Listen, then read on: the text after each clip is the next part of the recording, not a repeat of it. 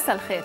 أظهر تقرير هولندي أنه حوالي 64% من الصينيين واللي عم بيواجهوا أزمة تلوث خانقة علوا صوتهم وزاد غضبهم الشعبي لأنه التلوث وصل لمستوى خطير ودعيوا كل الجمعيات البيئية إلى ضرورة التحرك بسرعة لمعالجة هالمشكلة الخطيرة. ويعتبر الصينيين من أكثر الشعوب اللي بتناضل للمحافظة على البيئة. بالعودة لطقسنا طقس ربيع متقلب مسيطر على لبنان والحوض الشرقي للبحر الأبيض المتوسط حرارة معتدلة. الهواء متوسط السرعة البحر مائج شوي وحرارة مياه 22 درجة. الليلة طقسنا بلبنان غائم مع ضباب على المرتفعات وانخفاض طفيف بدرجات الحرارة.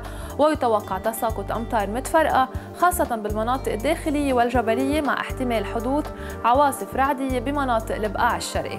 لبكرة طقسنا بلبنان غائم جزئيا صباحا بيتحول تدريجيا إلى غائم بسحب مرتفعة مع بداية ارتفاع بدرجات الحرارة ورياح ناشطة نسبيا. وهلأ بنبقى بجولة على درجات الحرارة اللي رح تسجل الليلة على الساحل 13 درجة على المرتفعات 10 بالبقاع 9 والأرز 6 وبنبقى بجولة على درجات الحرارة اللي رح تسجل لبكرة ببعض المناطق اللبنانية.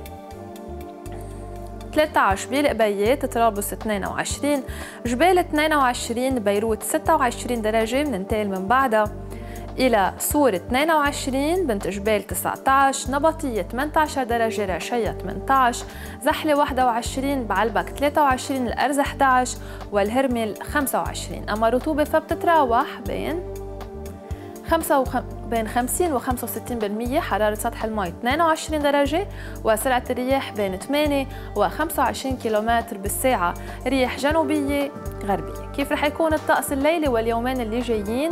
لليلة 13 وأقصاها 25 ثلاثة بتتراوح بين 13 و 26 والأربعة بين 13 و 25 درجة. وبنبقى هلأ بجولة على درجات الحرارة ببعض العواصم العربية والعالمية. بنبدأ من عمان 20 دمشق 27 والقدس 19 بننتقل من بعدها إلى الرباط 29 والجزائر 24 وبننهي مشوارنا بباريس حيث عم بتسجل درجات الحرارة 15 هيدا كان كل شيء باي.